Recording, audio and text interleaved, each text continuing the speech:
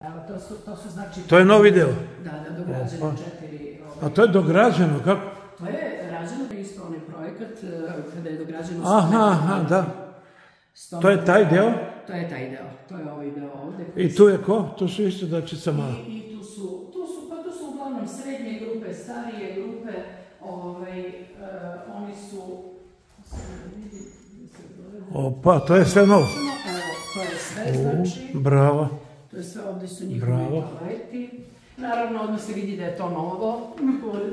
Odlično, vidi se. Ovaj, Evo neko je zaboravio da, bluzicu. doći će. A? Doći će, čuvamo mi to. Doći će. Znači, to je dograđeno. Jest, jest. A, tu je, a, mislim da smo jednu sobu prošli, ali nije. Srednja grupa vaspitača. Ivana Savić i Danijela Ranč. To je novo. Da, da, to je novi deo. U, kako je dobro. To je novi deo.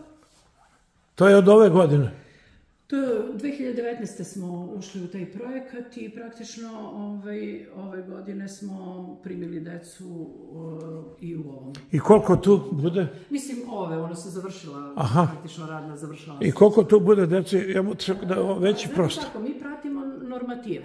E, Znači, za, za srednji uzrast negde normativ je 25 dece, e, plus minus može ono 20%, mi uglavnom idemo na plus, znači bude tu upisano do 27 osmora, ali dolazit će dece nikad. A vidim to, ove krevetiće su samo stavili tu za... Ne koriste se. Krevetiće, ovaj, korisnik krevetića, mada su sada i prebacivali zbog krećenja dole. Jel ima specijalni ulaz za ovo ili ne? Ima, ima,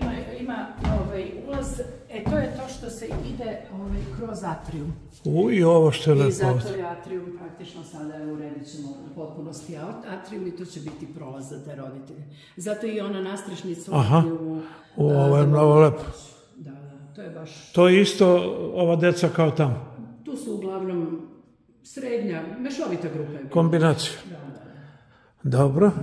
Ovo je ovako stalno stoji.